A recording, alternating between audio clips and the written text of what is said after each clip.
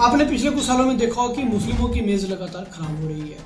मुसलमान शब्द सामने आते ही हमारे ध्यान में टेररिज्म आने लगता है। तो क्या मुसलमान सच में इतने बुरे हैं? या फिर उनके खिलाफ कोई प्रोपोगंडा फैलाया जा रहा है? कोई ऐसी सच्चाई जो इनके खिलाफ छुपाई जा रही है? क्या आप जानते हो कि बाहर से भी मुसलमानों को बाहर निकालने की तैयारी शुरू हो चुकी है? लेकिन कब और क्यों? सब बताऊँगा इस वीडियो में और बताऊँगा कि कैसे एक एक करके दुनिया के सारे देश मुस्लिमों के खिलाफ होते जा रहे हैं। बात कर लेते हैं हमारे देश भारत की। काशी विश्वनाथ मंदिर की बिल्डिंग के ऊपर बना ज्ञानव्यापी मस्जिद का गुम्मट। हमारे लिए कोई वॉ मूवमेंट क्रिएट नहीं कर रहा, बल्कि हमारे लिए शर्म की बात है कि कैसे हमारे कल्चर को मुगलों द्वारा दबाया गया। आज भी पीएफआई जैसे संगठन वही सोच लेकर भारत में घूम रहे हैं। अपने एजेंट्स उन्होंने छोड़ रखे हैं जो कि धर्म परिवर्तन करते हैं। इंडिया को एक इस्लामिक स्टेट बनाने के लिए वो जद्दोजहद कर रहे हैं। शायद ऐसे ही लोगों के लिए सीआईए एनआरसी जैसे कानून आने ज़रूरी है। अभी कुछ टेम्पल्स जैसे श्री राम मंदिर, Ayodhya.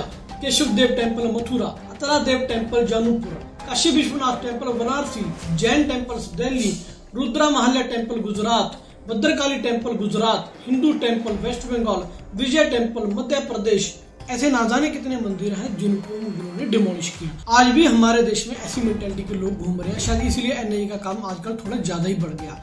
अलग अलग हिस्सों में छापेमारी हो रही है और ऐसे लोगों को पकड़ा जा रहा है जो भारत को इस्लामिक स्टेट बनाना चाह रहे हैं।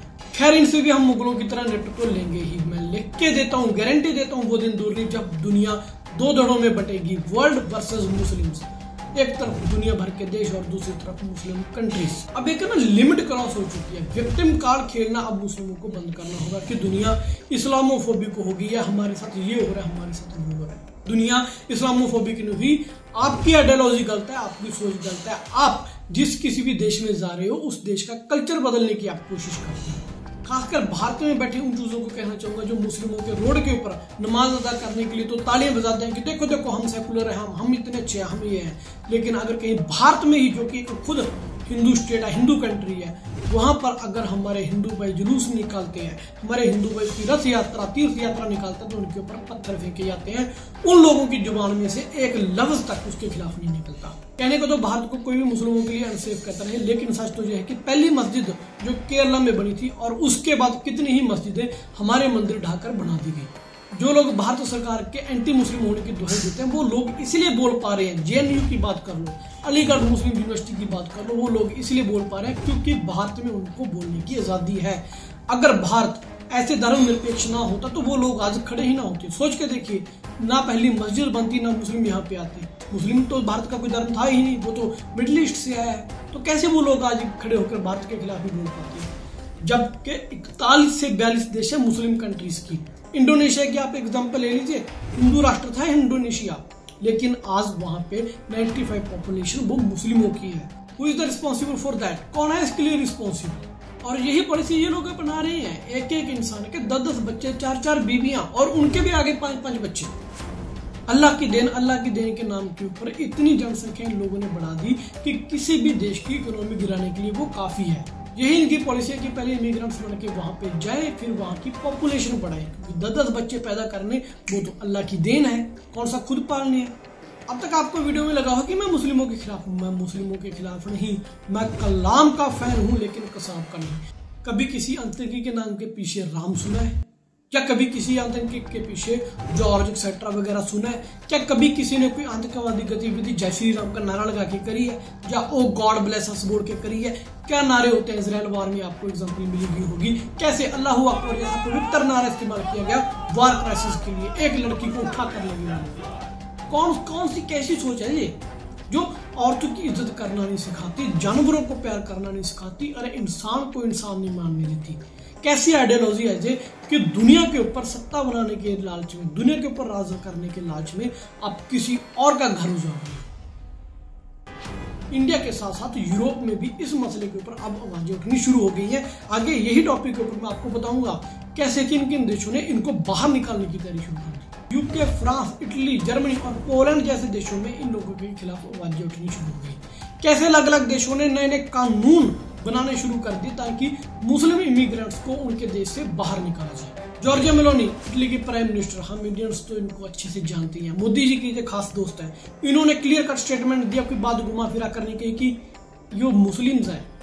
वो यूरोप के लिए, यूरोपियन कल्चर के लिए सही नहीं है। देखिए इस वीडियो में Giorgia Meloni ने क्या कहा। Io penso che ci sia un problema di compatibilità tra la cultura islamica o certa interpretazione della cultura islamica e i, i, diritti e i valori della nostra civiltà. A me non sfugge che la gran parte dei centri culturali islamici in Italia sono finanziati dall'Arabia Saudita e l'Arabia Saudita è una nazione che a casa sua applica la Sharia e Sharia significa lapidazione per l'adulterio, pena di morte per apostasia, pena di morte per omosessualità. Credo che queste questioni vadano poste, che non vuol dire generalizzare sull'Islam, vuol dire porre il problema che c'è in atto un processo di islamizzazione dell'Europa che è molto distante dai valori della nostra civiltà.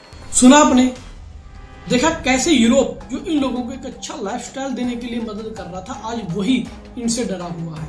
Italy UK जैसे देश कैसे मुस्लिमों द्वारा शरिया कानून की मांग किए जाने से डरे हुए हैं? कैसे यूरोप में इस पूरे मुद्दे से हलचल मची हुई है? इटली का एक छोटा सा आइलैंड है लेम्पेडूसा वहाँ पे इतने मुस्लिम इमिग्रेंट्स आ गए कि जो लोग वहाँ के लोकल्स हैं, अब वही इमिग्रेंट्स बन के रह गए अब यूके के प्राइम मिनिस्टर ऋषि सुनक की बात कर लो, उन्होंने तो इमिग्रेंट्स को अपने देश के लिए खतरा तक बता दिया और बकायदा एक कानून भी पास करा दिया रवांडा नाम का, जो कि एक अफ्रीकन देश है, रवांडा देश। उसको 300 मिलियन डॉलर यूके ने दिए हैं, ताकि जो यूके में इमिग्रेंट्स आए हुए हैं, उनको बाहर निकाल के वो रवांडा में शिफ्ट करिए अगर आपको असलम चाहिए तो आपको रवांडा रहना होगा, वहीं पे आप आगे की अपनी ज़िंदगी बिताओगे, लेकिन यूके में आपके लिए कोई जगह नहीं। सुनिए ऋषि सुनकर ने अपने बयान में क्या कहा, और इसी बात के ऊपर जॉर्जिया मिलोनी ने, जो इटली की प्राइम मिनिस्टर उन्होंने भी मुहर लगाई है। Now, Margaret Thatcher never shied away from the hard choices and the big issues. And today, there is no issue to which we need to apply Thatcher's radicalism and drive to more than illegal migration. Now, our opponents just want to ignore this issue. They want to put their heads in the sand and hope that it goes away. Well, let me tell them that it won't. If they doubt that, just go to Lampedusa arrivals in the central Mediterranean, up by more than 50% this year. That is unsustainable, but it is also unfair and it is immoral. देखा आपने Europe में जो Muslims रह रहे हैं उनमें से 40 percent मुस्लिम अब यूरोप में शरिया कानून की डिमांड करने लग गए भाई अगर आपको शरिया कानून ही चाहिए तो आप यूरोप में क्या करने आए हो आप तो डायरेक्टली उनके कल्चर को निस्तनाबूद कर रहे हो तबाह करने की कोशिश कर रहे हो अगर आपको अपने पुराने शरीफ पवित्र कुरान शरीफ मैं इज़्ज़त करता हूँ उसकी आपको शरिया कानून इतना ही पैरा तो आप मुस्लिम कंट्री में क्यों नहीं रहे? अफ़गानिस्तान जाओ, पाकिस्तान जाओ, ईरान जाओ, जहाँ भी जो भी शरिया कानून जिधर लगे हुए हैं, वहाँ जाओ। अब यूरोप में क्या करने आए हो? बात तो वही है ना लॉजिक की पहले दुनिया के देशों में घुसो इमिग्रेंट्स बन के, फिर वहाँ पे आबादी बढ़ाओ। आबादी इतनी बढ़ेगी कि हम पूरे देश का सिस्टम एक हाईजैक कर लेंगे। फ्रांस, क्या हुआ फ्रांस के साथ? पैगंबर के नाम के ऊपर एक बंदे ने, एक टीचर ने क्या कहा? उसका गला काट दिया गया। उसके बाद जो राइट्स हुए, पूरा फ्रांस जला दिया। उसके बाद फ्रांस ने इतने कड़े कानून लगा दिए, इतने सख्त कानून लगा दिए कि जो मुस्लिम इमिग्रेंट्स हैं, उनको बाहर निकाल रहा है और जो लोग अभी वहाँ पे हैं इमिग्रेंट्स जो किसी का गला काट दिया, किसी ने किसी के ऊपर गाड़ी चढ़ा दी धर्म के नाम के ऊपर, उनको भी आप पेल के बाहर निकाल रहे हैं। जर्मनी, जब सीरिया में आईएसआईएस का कंट्रोल शुरू हुआ तो जर्मनी ही था जिसने सीरिया के लोगों को सबसे ज़्यादा हेल्प करी। उनको इमिग्रेंट्स बना के अपने देश में लेके आया और आज खुद ही उनसे परेशान है। इस हद तक परेशान हो गया कि उसने बकायदा का नोटिफिकेशन जारी कर दिया कि सीरिया के लोगों के लिए जर्मनी में कोई जगह नहीं। भारत हो, यूरोप हो, अमेरिकन कंट्रीज़ हो, हर जगह इस्लामोफोबिया। नहीं दोस्त, इस्लामोफोबिया नहीं, ये रियलिटी है। ये इमेज खुद मुस्लिमों ने बनाई है। मैं सारे मुस्लिमों की बात नहीं कर रहा, चंद उन मुस्लिमों की, चंद नहीं फिफ्टी परसेंट मुस्लिमों की बात कर रहा हूँ। जो धर्म के नाम के ऊपर, धरती के ऊपर जिन्होंने आतंक मचाया हुआ है। लश्कर तोबाला तालिबान, पता नहीं कौन कौन से संगठन बन चुके हैं इनके। जिसका दिल करता है गला काट देता है, जिसका दिल करता है उसको जाके मार देते हैं इंसानियत नाम की कोई चीज़ ही नहीं। भारत में कितनी ही वीडियोस हम देख रहे हैं कि अभी एक बच्चे की वीडियो आज ही मैंने देखी, उसमें कह रहा था कि तुम्हारी सरकार बीजेपी की जाने दो। उसके बाद जो राम मंदिर तुमने बनाया, बाबरी मस्जिद, वही उसको ढाके बनाया गया। एक छोटे बच्चे की मेंटेलिटी अगर तुम लोगों ने पैदा कर रखी है तो बड़ों की क्या मेंटेलिटी रही होगी? शर्म आनी चाहिए ऐसे लोगों को। बात बात से खास अपील है अब हमें ऐसे लोगों को टैकल करना होगा। दुनिया जिस मुहाने पे आगे खड़ी हुई है, दुनिया खुद को प्रिपेयर कर रही है, किस खतरे को मिटाने के लिए हमें भी प्रिपेयर होना होगा। मुस्लिमों को मिटाने की बात नहीं कर रहा, मैं इस सोच को मिटाने की बात कर रहा खैर आई होप आपको इस वीडियो में इन्फॉर्मेशन मिली होगी। वंस अगेन मैं मुस्लिमों के खिलाफ नहीं हूँ। अगर किसी को चुल मचती है तो मचती रहे। बात तो सच्ची है। आप खुद प्रैक्टिकली इसको जरा ऑब्ज़र्व करने की कोशिश कीजिए कि माहौल कैसा बन रहा है। धर्म के नाम के ऊपर किसी और को मारना सही नहीं है। किसी और देश का कल्चर हम अपना कल्चर किसी और के देश के ऊपर जाके थोप नहीं सकते। या तो वहाँ रहने ना जाओ, या फिर वहाँ की जो लोकेलिटी का कल्चर है, जैसे उनका लाइफ स्टाइल है, उसको रिस्पेक्टफुली हमें अपनाना होगा, उसकी रिस्पेक्ट करनी पड़ेगी। खैर आई होप आपको इस वीडियो में बहुत सारी इन्फॉर्मेशन मिल गई होगी कि कैसे इमेज खराब हो रही है एक्सेट्रा जो सारा कुछ हो रहा है। और वीडियो अच्छी लगी तो लाइक करके कमेंट सेक्शन में ज़रूर बताइएगा, जैन ज़रूर लिखिएगा। और अगर आपको अच्छी लगी तो प्लीज़ लाइक, शेयर, सब्सक्राइब ज़रूर कीजिएगा। कमेंट करके किस वीडियो के ऊपर आगे आप किस टॉपिक के ऊपर आप वीडियो चाहते हो, कमेंट करना, प्लीज़ बताना ज़रूर। आई ट्राई माई बेस्ट कि मैं उसके ऊपर वीडियो बनाऊँ। तो अब मुझे दीजिए इजाज़त। जय हिंद।